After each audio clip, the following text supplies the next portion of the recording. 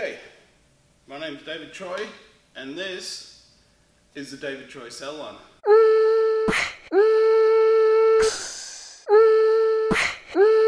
So I haven't done a video like this in a while where I've just told you what I thought or what I'm thinking or what I'm going through on YouTube or in the salon.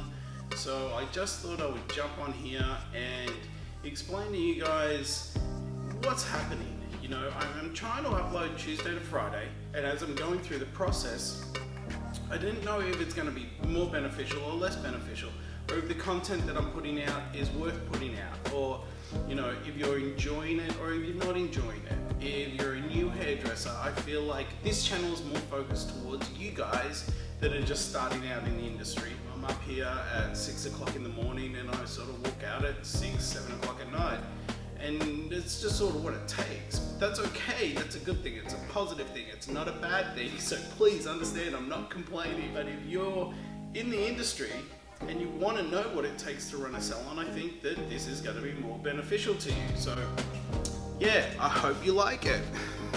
So one thing that, you know, a lot of people don't realize is how much inventory sits on our shelves. You know, thousands of dollars just sitting here.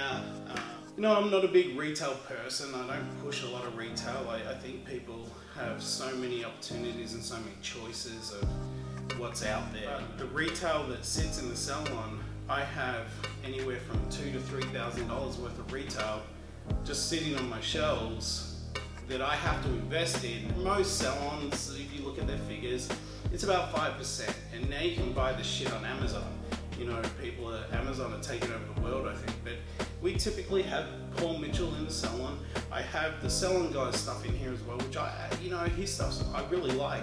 I also have my own shampoo and conditioner. I think if they like it, they will get it. And they'll come back and they'll keep getting it when you understand how it works. So, you know, the markup on product and, but as I say, product, uh, we don't sell everything. You know, there's some products that just do sit on the shelf, unfortunately, and they don't belong there. Of course, they should use what we at our station, and they should be able to go home and reproduce what we do by using the same product. And that's why we recommend what we use, or what we should recommend if people ask what we're using. and don't even get me started about color. The amount of inventory that we have to keep as a salon owner is ridiculous. But that's just part of it. You know, it's part of the investment, but there is a lot of money just sitting in the salon. And some people don't understand the concept of what it costs. You know, again, a couple of thousand dollars worth of color just sitting here. You have to use it. You have to get your money back. It's just, it's numbers, it's math, it's, it's you know, not only, you gotta understand, you're not opening a salon, you're opening a business. So you have to invest in that and a business should make money, you know. Um, but I'm trying to be real and I'm trying to get you guys to enjoy it. I'm just trying to figure out what content is more important. Is it the hair side? Is it the, you know, the salon side? Is it the business side? Is it, is it what it takes, you know, to run a business? That's where, is it interesting or is it not? You know, I find it interesting, but I'm a hairdresser and I enjoy this stuff. I could watch someone walk around their salon all day and talk about it, but that's just, that's me. You know, shampoo should take two pumps.